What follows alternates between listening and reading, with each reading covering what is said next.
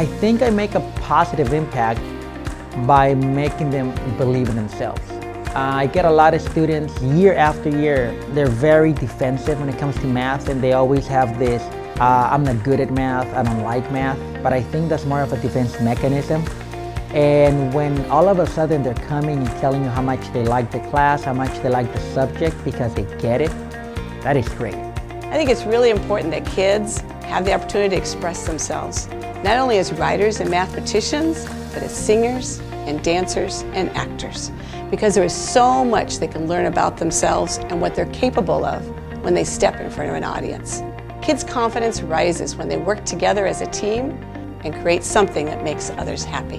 And there's nothing more thrilling as a teacher than seeing a child's face beaming with pride. My deaf students are fully included in general education and my biggest goal and the way I think I impact them the most is to work with the general ed teacher and the interpreters to ensure that they have equal access in the classrooms. I also go into the classrooms and I teach sign language to all the hearing kids in their class. I offer a free sign language class at night here to the staff and the families and the community and I think that since students have a hard time with communication, the more people in their environment that they can communicate with easily makes their self-esteem higher and the kids are more successful. In the beginning of the year, I tell my students that when I was in eighth grade, I failed my first trimester in U.S. history. I teach U.S. history, so I teach them resilience, that if they fail, they can get back up again. As long as they persevere through uh, whatever's going on at home, whatever's going on at school, they need to just persevere and not give up. I've had students who have gone through a lot of emotional problems and I've given them a vehicle to rechannel some of that emotion and to find more positivity in their lives, even while they're suffering the effects of depression and anxiety. I think it's about just getting to know each individual student, getting to know their talents, getting to know what they want out of life and what their goals might be. And I try to help them along that path. I think that I make a positive impact by just showing that I care. Building those trusting relationships, those caring relationships are what really is the center of teaching.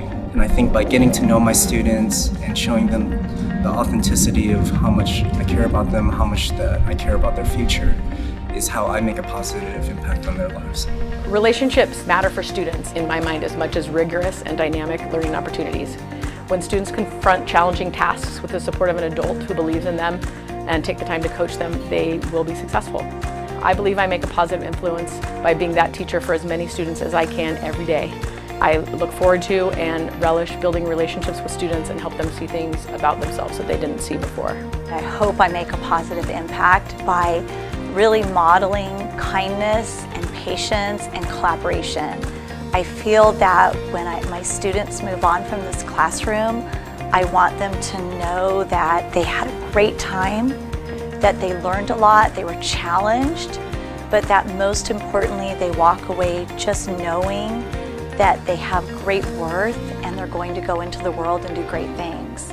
My hope is that when they walk away, that they come back and visit me and that I know down the road that whatever path they choose, that maybe I've had a little part of that.